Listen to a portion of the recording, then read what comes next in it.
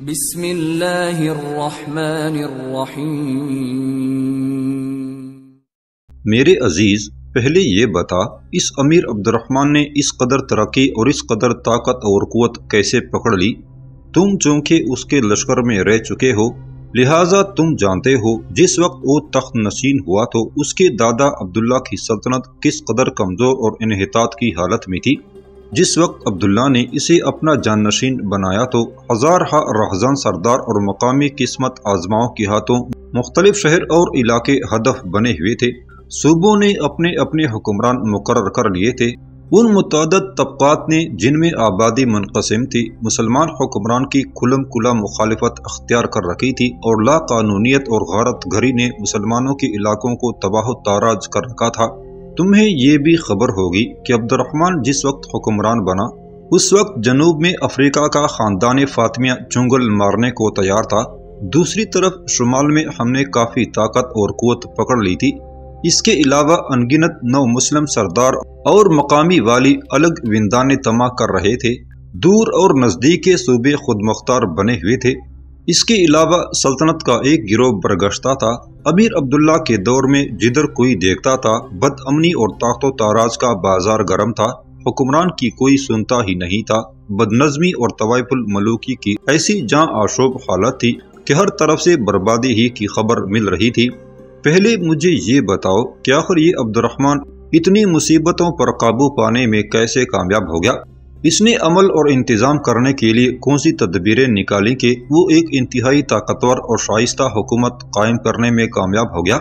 یہاں تک کہنے کے بعد رومیر جب رکا، تب امیہ بن اسحاق کے اس قاصد نے اپنے ہونٹوں پر زبان پھیری، پھر کہنے لگا، میں آپ سے جھوٹ نہیں بولوں گا، میں جانتا ہوں اس وقت ہم امیر عبد الرحمن کے خلاف ہیں، لیکن اس کے جو کارنامے ہیں وہ میں آپ سے سچائی پر رہتے ہوئے بیان کروں گا۔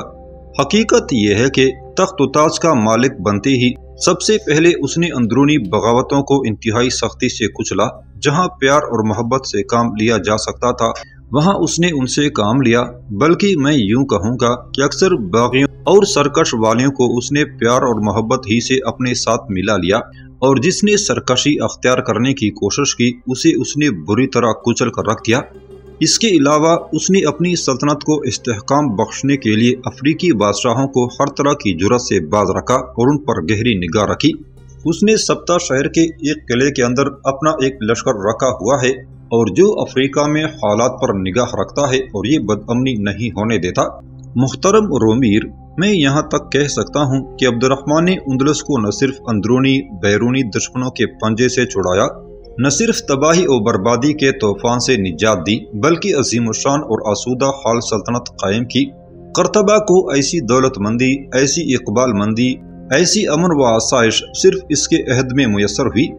اندلس میں مسلمانوں کی وہ سلطنت جہاں چاروں طرف بربادی کا بازار گرم تھا بد نظمی تھی، طوائف الملوکی تھی، بغاوت اور سرکشی دندناتی پھرتی تھی۔ وہاں اب اس عبد الرحمن کی حکمتی عملی کی وجہ سے اس میں سرسب چراگاہیں شاداب باغات اور جا بجا لہلہات کھیت خود اس کی ترقی کی نشاندہی کرتے ہیں۔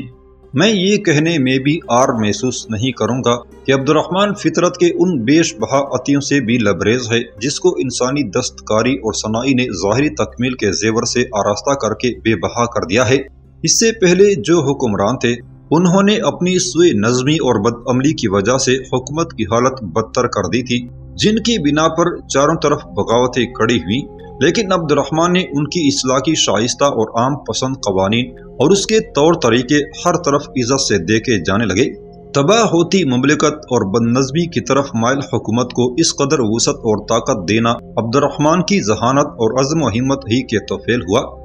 وہ بڑا عقل مند حکمران ہے، پہلے حالات کا جائزہ لیتا ہے، جہاں دیکھتا ہے، اگر وہ نرمی کرے تو کام نکل سکتا ہے، وہاں نرمی سے کام لیتا ہے۔ جہاں دیکھتا ہے کہ اسے سرکشی اور بغاوت کرنے والا اکڑ رکھتا ہے گمنڈ رکھتا ہے، تو اس پر ایسی طاقت اور قوت سے حملہ کرتا ہے کہ اس کی قوت کو نیست و نابود کر کے رکھ دیتا ہے۔ آپ دیکھیں اس کی عقل و دانش، دولت و عظمت اور اس کے احترام کی شہرت اپنے اسپین سے نکل کر یورپ اور افریقہ کے ملکوں میں ضرب المثل بن چکی ہے اور ایشیا میں بھی اس کا نام انتہائی عزت اور احترام کے ساتھ لیا جاتا ہے۔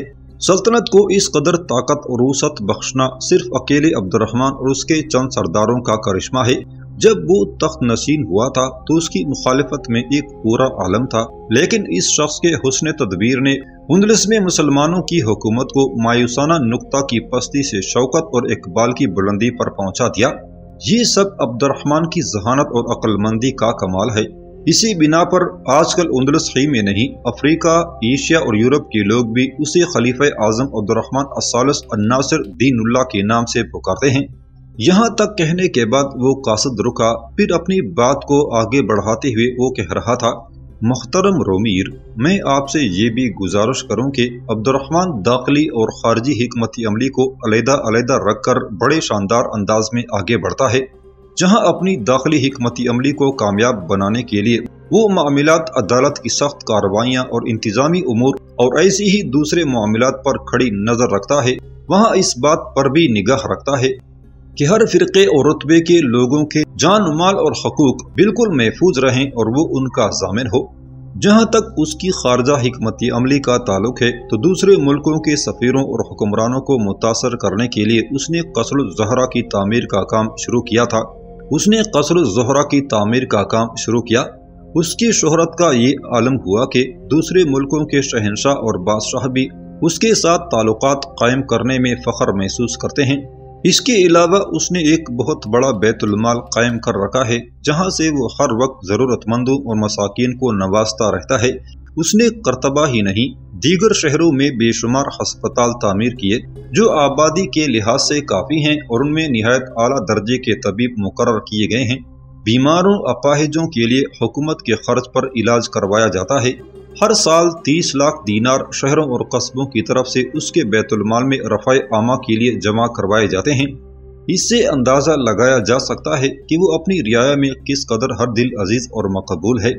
طاقت اور قوت کا ایک پہلو اس کا لشکر بھی ہے۔ اس کے لشکر کے دو حصے ہیں۔ ایک حصہ مستقل اور ایک غیر مستقل۔ لشکر کے سارے لشکریوں اور سالاروں کے نام تحریری طور پر محفوظ کیے جاتے ہیں۔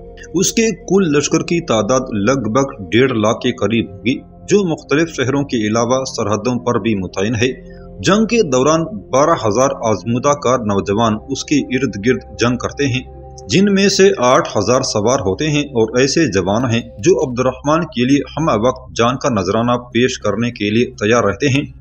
اپنے مستقل لشکریوں کو وہ جنگ کا بہترین ساز سامان مہیا کرتے ہیں۔ اس کے علاوہ ان کی وردیاں بھی انتہائی قیمتی اور آرام دہ ہوتی ہیں اور یہ سب کچھ حکومت کی طرف سے مہیا کیا جاتا ہے۔ جب وہ کہیں فتح پاتا ہے تو اپنے سالاروں کے علاوہ ان لشکریوں کو جن کی کارکردگی جنگ میں بہتر ہوتی ہے، انہیں ایسی تلواریں تحائف میں دیتا ہے جن کے دستوں پر جواہرات ٹکے ہوتے ہیں۔ انہیں ایسے کمر بند انعام کے طور پر دیتا ہے جن پر خاص سونے کا کام کیا ہوتا ہے۔ یہاں تک کہنے کے بعد امیہ بن استاق کا وہ قاصد خاموش ہو گیا تھا۔ رومیر جواب میں کچھ دیر بڑے غور سے اس کی طرف دیکھتا رہا۔ پھر کسی قدر پرسکون انداز میں اسے مخاطب کر کے کہنے لگا، میں تمہارا شکر گزار ہوں کہ تم نے عبد الرحمن کی سیرت، اس کے کارناموں کا ذکر کرتے ہوئے کسی قدر بخل اور تعصب سے کام نہیں لیا۔ دراصل میں چاہتا تھا کہ کوئی حقیقت اور سچائی کے ساتھ اس کے انتظامات سے آگاہ کرے، تاکہ میں اس جیسے انتظامات کر کے کسی ایک موقع پر ہی اس کی خلاف فتح حاصل کرنے میں کامیاب ہو سکوں۔ رومی رکا پھر کاسد کو مخاطب کر کے کہنے لگا، تم اس وقت ہمارے مہمان ہو، ایک دو روز یہاں قیام کر کے آرام کرو۔ واپس جا کر امیہ بن اساق سے کہنا کہ میں پوری طرح عبد الرحمن کے خلاف اس کے ساتھ اتحاد اور تعاون سے کام لوں گا۔ جب کبھی بھی وہ دیکھے کہ عبد الرحمن اس کو اپنا ہدف بنانے کے لیے اس کی طرف پیش قدمی کر رہا ہے، مجھے اطلاع کر دے، میں اپنا لشکر لے کر اس کی مدد کو پہنچوں گا، تاہم میں خود بھی اپنے مقبروں اور تلایا گھروں کے ذریعے عبد الرحمن پر نگاہ رکھوں گا اور اگر ایسی صورتحال پیش آئی تو میں امیہ بن اسقاق کی مدد پر پوری طاقت اور قوت کے ساتھ حرکت میں آؤں گا۔ رومیر خاموش ہوا، کچھ سوچا پھر امیہ بن اسقاق کے قاصد کو مخاطب کر کے کہنے لگا، میں اب اپنے چوبیدار کو بلاتا ہوں، وہ تمہیں اپنے ساتھ لے جاتا ہے اور تمہارے قیام اور تمہارے توام کا عمدہ انتظام کرتا ہے۔ اس کے ساتھ ہی آواز دے کر رومیر نے اپنے چوبیدار کو بلایا۔ رومیر نے قاصد کے متعلق ہدایات جاری کی اس کے بعد وہ چوبیدار قاصد کو لے کر قصر کے اس کمرے سے نکل گیا تھا۔ امیر عبد الرحمن الثالث نے اب اپنی لشکر کے ساتھ ناجرہ شہر کا رخ کیا تھا۔ یہ شہر دریائے ابرا کی گزرگاہ سے جنوب میں قاہرہ شہر کے لگ بھگ چالیس میل کے فاصلے پر تھا۔ اب بھی یہ اسپین کے مشہور شہروں میں شمار کیا جاتا ہے۔ مسلمانوں نے اس شہر کو پہلی صدی ہجری میں فتح کیا۔ یہ شہر نبرا کی مملکت کے تحت تھا۔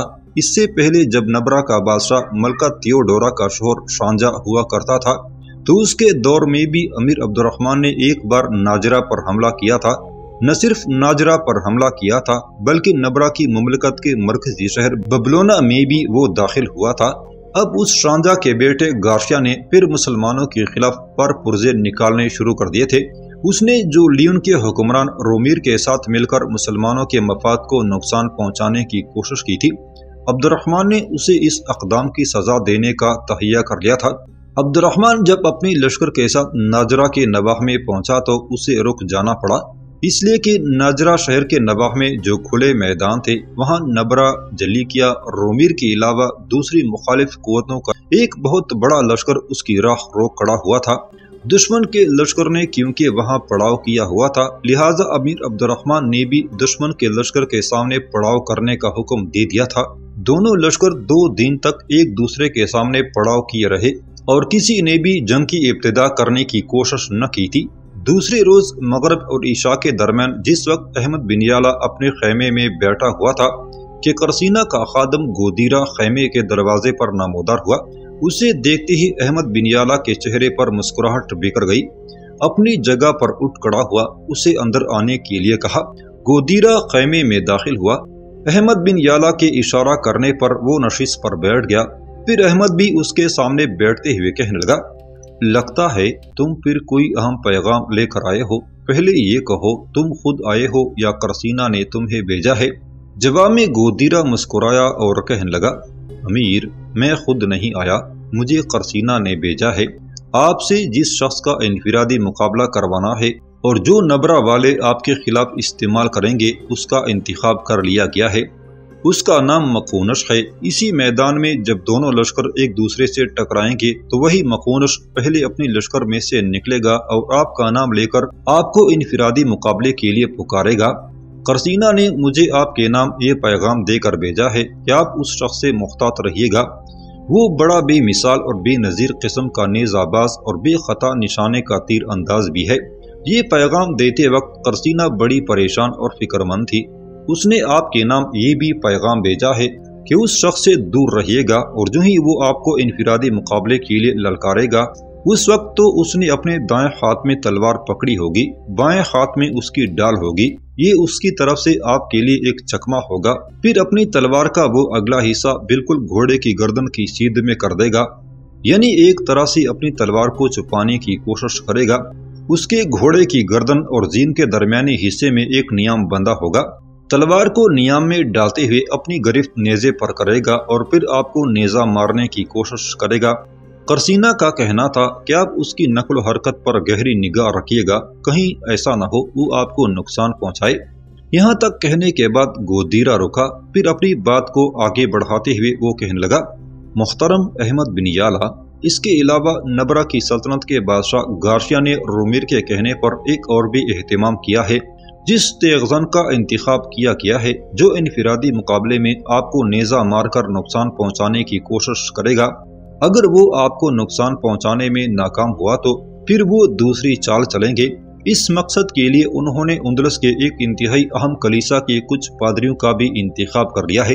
اور اس تیغزن کی ناکامی کے بعد وہ پادریوں کا گروہ صلح صفائی کے بہانے آپ کے لشکر میں داخل کرے گا، صلح کی گفتگو کرے گا اور اسی بہانے سے ان پادریوں کے اندر بھی ایک عمدہ تیغزن رکھا جائے گا۔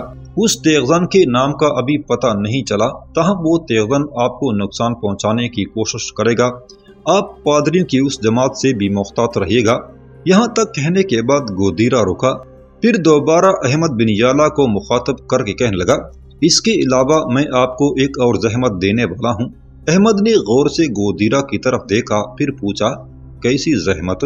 جواب میں گودیرا مسکراتے ہوئے کہنے لگا، دراصل بات یہ ہے کہ قرسینہ نے مجھ سے کہا تھا کہ میں آپ ہی کے لشکر میں قیام کروں۔ اور کل جب دونوں لشکر آپس میں ٹکرائیں اور اس ٹکراؤ سے پہلے آپ کا انفرادی مقابلہ ہو تو کرسینا کی خواہش ہے کہ میں اس انفرادی مقابلے کو اپنی آنکھوں سے دیکھوں اور پھر واپس جا کر اسے ساری صورتحال سے تفصیل کے ساتھ آگاہ کروں۔ لہٰذا جو زحمت میں آپ کو دینا چاہتا ہوں وہ یہ کہ آج کی رات کے لیے آپ کو اپنے پڑاؤ میں میرے قیام کا بھی بندوبست کرنا ہوگا۔ جواب میں احمد مسکرایا اور کہنے لگا گودیرا تم ایک شب کی بات کرتے ہو، تم ساری زندگی بھی ہمارے ساتھ رہنا پسند کرو تو یاد رکھنا، اس میں ہماری خوشی اور تمانیت ہوگی۔ اس کے لیے تم فکر مند نہ ہو، میں ابھی تھوڑی دیر تک پہلے تمہارے کھانے کا اہتمام کرتا ہوں۔ اس کے بعد تمہاری رہائش کا اہتمام کر کے میں چاہوں گا کہ تم آرام کرو۔ کل اگر جنگ کی ابتدا ہوتی ہے تو تم ہمارے پڑاؤ میں قیام کرنا اور پھر صورتحال سے جا کر کرسینا کو آگاہ کر دینا۔ اب اٹھو، پہلے میں تمہارے قیام کے لیے تمہیں خیمات دکھاتا ہوں۔ اس کے بعد تمہارے کانے کا اہتمام کرتا ہوں۔ گودیرا بے پناہ خوشی کا اظہار کرتے ہوئے اٹھ کڑا ہوا تھا۔ پھر احمد اسے اپنے خیمے سے باہر لے گیا تھا۔ اگلے روز ناجرا شہر کے نواح میں کھلے میدانوں کے اندر دونوں لشکر ایک دوسرے کے سامنے صبح سویرے ہی اپنی صفیں درست اور استوار کرنے لگے تھے۔ اس لیے کہ وہ جنگ کی ابتدا کرنا چاہتے تھے۔ جلیکیا نبرا اور رومیر کے متحدہ لشکر میں اس وقت انگنت، تبل اور بگل بجوائے جا رہے تھے۔ لشکری مسلمانوں پر روب اور دبدبا ڈالنے کے لیے چیختے چلاتے ہوئے عجیب و غریب نعرے بلند کر رہے تھے۔ دوسری طرف امیر عبد الرحمن اور اس کے سالار بھی اپنی لشکر کی صفیں درست کر رہے تھے۔ ایسے میں مقونش نام کا تیغدن دشمن کے متحدہ لشکر سے نکلا۔ اس وقت وہ سیاہ رنگ کے گھوڑے پر سوار تھا۔ لباس بھی سیاہ پہنے ہوئے تھا۔ گو وہ ایک سازش دھوکا اور فریب لے کر میدان میں اتر رہا تھا۔ اس کے باوجود اس نے مضبوط لوہے کی کڑیوں والی زیرہ پہن رکھی تھی۔ ہاتھوں کے جوڑ سے لے کر کوہنیوں تک پیتل کے جوشن تھے۔ کندھے پر بھی حفاظتی خول چھڑے ہوئے تھے۔ سر پر خود تھا۔ اس کے اوپر دھوکا دینے کے لیے سیاہ رنگ کا ایک رومال اس نے باندھ رکھا تھا۔ اور ساتھ ہی اپنے پورے جسم پر سیاہ رنگ کی ایک ابا ڈالی ہوئی تھی۔ وہ خوب دراز قد، بھاری برکم نوجوان تھا۔ اپنے گھوڑے کو ایڑ لگاتا دونوں لشکروں کے درمیان آیا، رکا۔ بائیں ہاتھ میں ڈھال، دائیں ہاتھ سے اپنی تلوار اس نے فضا میں بلند کی۔ پھر احمد بن یالا کا نام لے کر اس نے انفرادی مقابلے کے لیے للکارا تھا۔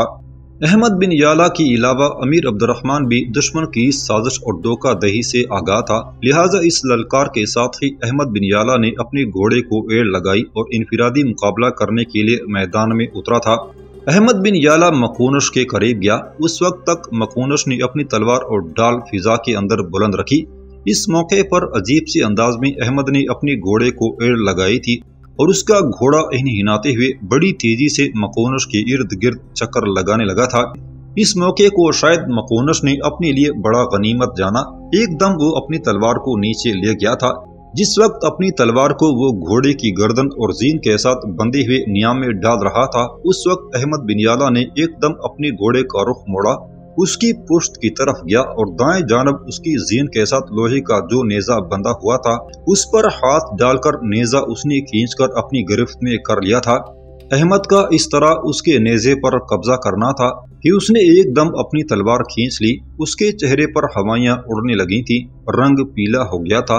احمد نے اپنی گھوڑے کو روک لیا تھا، پھر اسے مخاطب کر کے کہنے لگا، میرے ساتھ انفرادی مقابلہ کرنے کے لیے اترنے والے مجھے اتنا بھولا، اتنا نادان نہ سمجھ کہ تو جو سازش لے کر آیا ہے، اس میں کامیاب ہو جائے گا۔ سن، تیرا نام مقونش ہے، اس لیے میں نے آتی ہی تیرا نام نہیں پوچھا۔ میں نے اپنا نام اس لیے نہیں بتایا کہ تو نے میرا نام لے کر مجھے انفرادی مقابلے کی دعوت دی ہے۔ اور تو جو یہ چاہتا تھا کہ پہلے اپنی تلوار اور ڈھال فضا میں بلند کرتے ہوئے میرا دھیان اپنی تلوار اور ڈھال کی طرف کرے گا اس کے بعد اپنی تلوار کو آہستہ آہستہ نیچے لے جائے گا اور تمہارے گھوڑے کی گردن اور زین کے ساتھ جو نیام بندہ ہوا ہے، اس میں ڈال دے گا اور پھر وہی نیزا جو میں نے کھینچ کر اپنی گرفت میں لیا ہے، اسے مجھ پر دے مارو گے۔ مکونش مقابلہ کرنا ہے تو جوان مردوں کی طرح میرے سامنے آؤ۔ تم نے چونکہ میرا نام لے کر انفرادی مقابلے کے لیے للکارا ہے، لہٰذا اگر تو واقعی تیغزن ہے تو دو کا دہی پر کیوں اترا ہے؟ میں جانتا ہوں، اس لیے کہ تجھے بہت بڑے انعام اور بڑی لالچ کی ترغیب دی گئی ہوگی۔ لیکن کیا تو نے یہ نہیں سوچا اس انفرادی مقابلے کے نتیجے میں تجھے اپنی قیمتی جان سے ہاتھ بھی دونے پڑ سکتے ہیں؟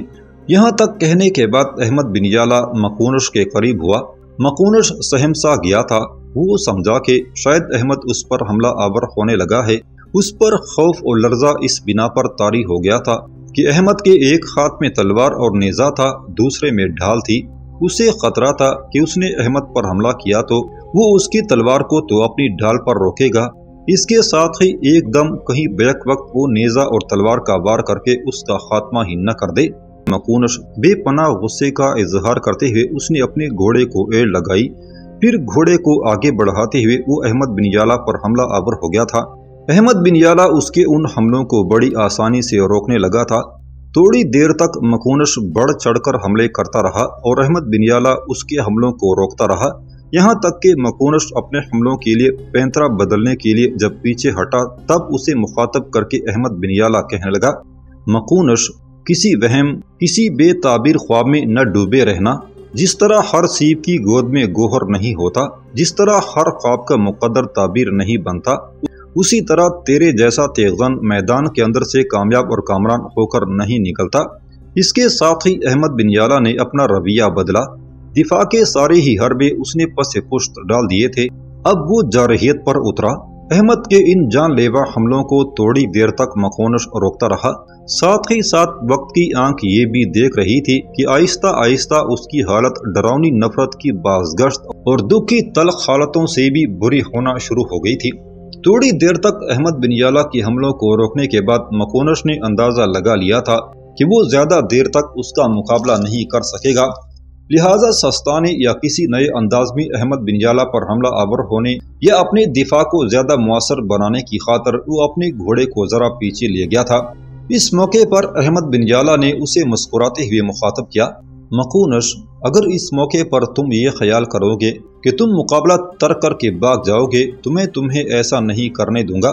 میں تو بھاگتے ہوئے بھی تیری پشت پر ایسا نیزہ ماروں گا جو تیرے دل کو چیرتا ہوا نکل جائے گا۔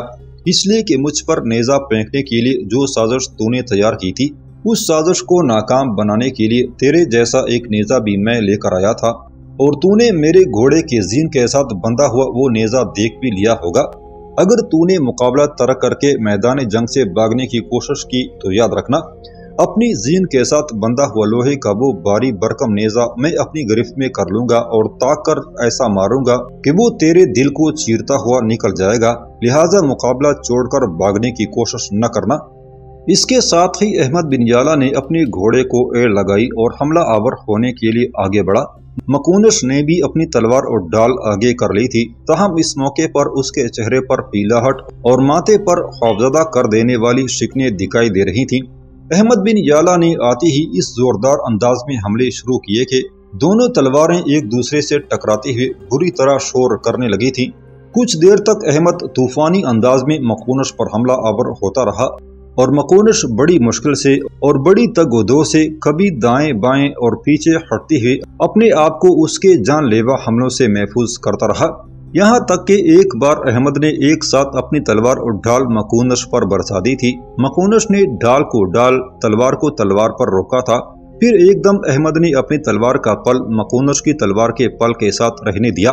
لیکن دستے کو اس نے ایک دم اس انداز میں مکونش کے چہرے کی طرف کیا کہ مکونش سمجھ نہ سکا کہ احمد بن یالا جو اپنی تلوار کو توڑا سا ٹیڑا کر رہا ہے، اس سے کیا فائدہ اٹھائے گا؟ کہ اتنی دیر تک احمد بن یالا نے اپنی تلوار کا دستہ پوری طاقت اور قوت کے ساتھ مکونش کے چہرے پر دے مارا تھا۔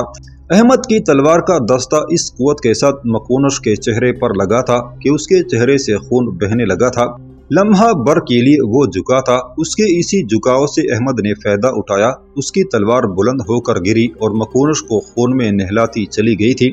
مکونش اپنے گھوڑے سے زمین پر گرا اور دم توڑ گیا تھا۔ جس وقت مکونش اپنے گھوڑے سے گر کر دم توڑ گیا، احمد نے اس کا گھوڑا پکڑا اور اپنی لشکر کی طرف ہو لیا تھا۔